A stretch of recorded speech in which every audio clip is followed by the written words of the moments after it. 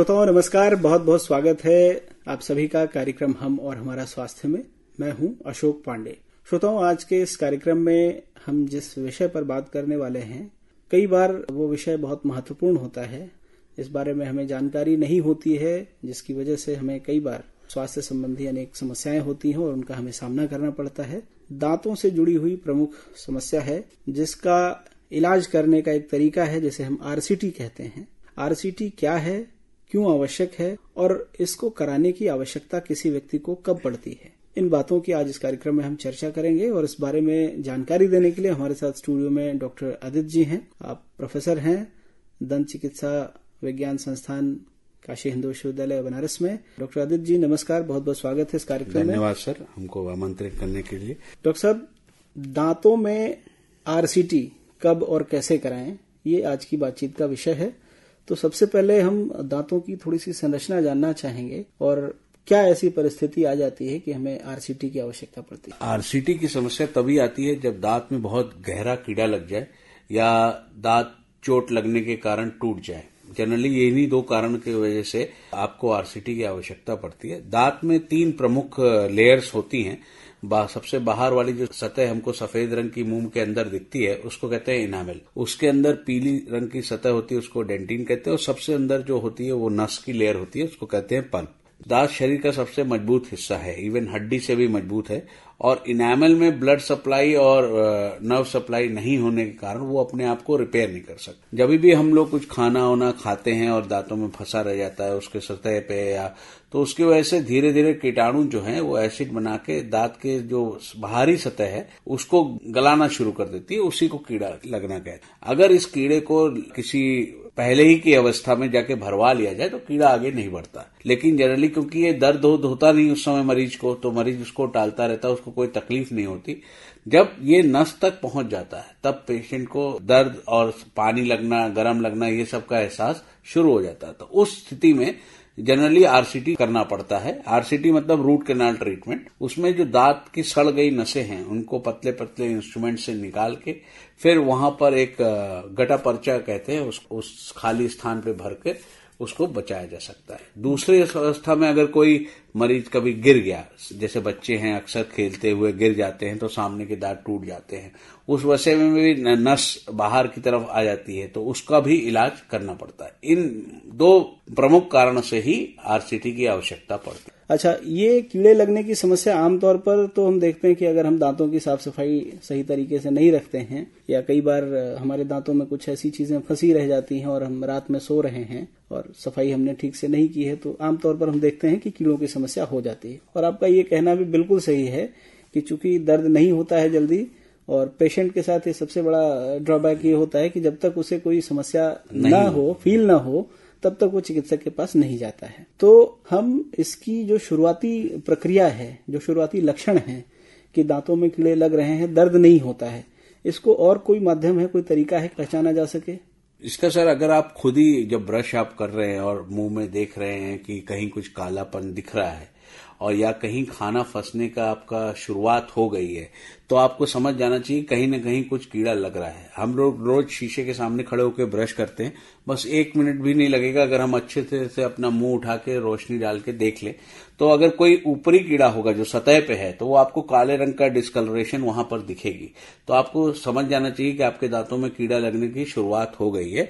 दोनों दांतों के बीच में से अगर कीड़ा लगा है तो वो जनरली ऐसे देखना संभव नहीं है। उसके लिए आपको किसी चिकित्सक के पास ही जाना पड़ेगा, जो इंस्ट्रूमेंट के माध्यम से देख पाएगा या कभी कभी एक्सरे भी करना पड़ता है, उसको भी नहीं दिखता तो एक्सरे की आवश्यकता पड़ती है। अगर आप रूटीन चेकअप में रहते हैं जनरली बुक्स एडवाइस करती हैं कि छह महीने से साल भर के अंदर बिना तकलीफ़ के भी दंत चिकित्सक के पास चले जाना चाहिए।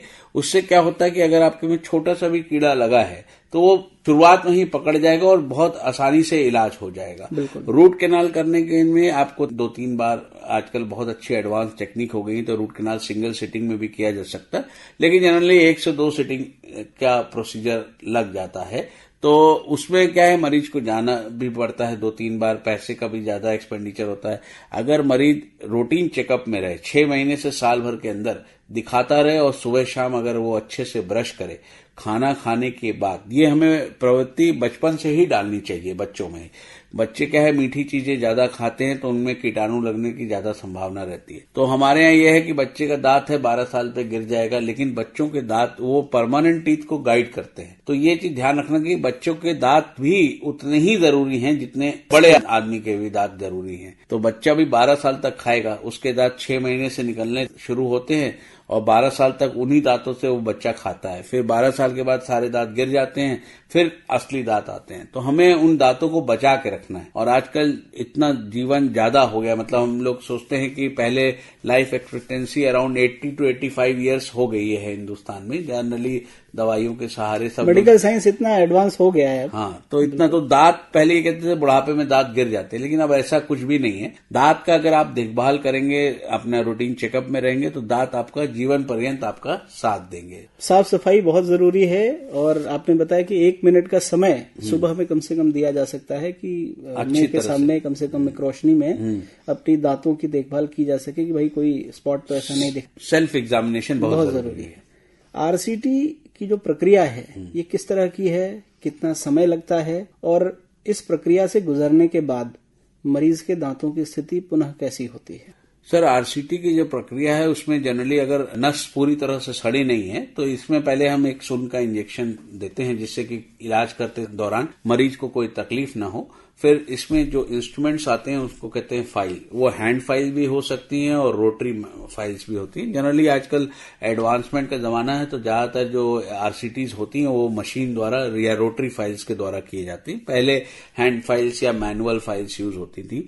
सुन करने के बाद डॉक्टर द्वारा दांतों में नस तक पहुँचने का एक रास्ता बनाया जाता है, जिससे कि वो जो अंदर सड़ गई नसें हैं, उसको हटा लिया जाए. फिर उसमें कुछ केमिकल्स जैसे सोडियम हाइपोक्लोराइड डाल के वहाँ पर उसको स्टरलाइज किया जाता है। स्टरलाइज करने के बाद जब ये प्रक्रिया खत्म हो जाती है तो उसमें एक नकली नस जैसे जो मटेरियल आता है, उसको कहते हैं गटा पर्चा उसको भर के और उसको सील कर दिया जाता है पैक कर दिया जाता है।